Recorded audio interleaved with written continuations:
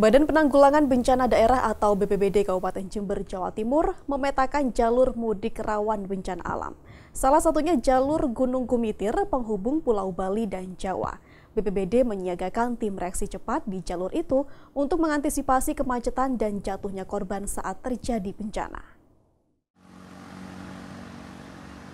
Jalur mudik rawan bencana di Gunung Gumitir memanjang hingga 8 kilometer tepatnya berada di Kecamatan Silo, Kabupaten Jember. Jalur nasional ini rawan bencana alam, mulai tanah longsor hingga pohon tumbang.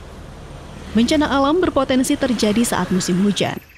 Tanah longsor terjadi diawali dengan pergerakan tanah yang dipicu keretakan pada lereng atau tebing akibat curah hujan tinggi. Untuk mencegah jatuhnya korban dan kemacetan panjang saat bencana terjadi, pihak BPBD mendirikan pos siaga bencana meteorologi di sepanjang jalur Gunung Gumitir. BPBD juga menyiagakan tim reaksi cepat atau TRC di setiap posko.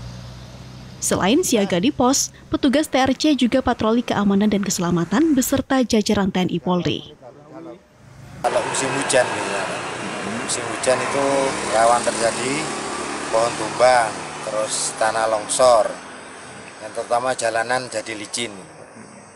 Ada berapa titik kira-kira di jalur Gumitir ini, Pak?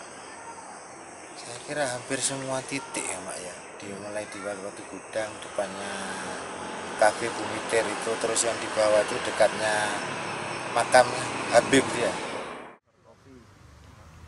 Jalur Gunung Gumitir penghubung Kabupaten Jember dan Banyuwangi. Jalur ini selalu dilewati pemudik dari Bali dan wilayah Indonesia Timur lainnya seperti Lombok. Selain Gunung Gumitir, BPBD Jember juga memetakan jalan raya di Kecamatan Bangsalsari sebagai jalur mudik rawan bencana banjir. Hernawan Mustika, Kompas TV Jember, Jawa Timur.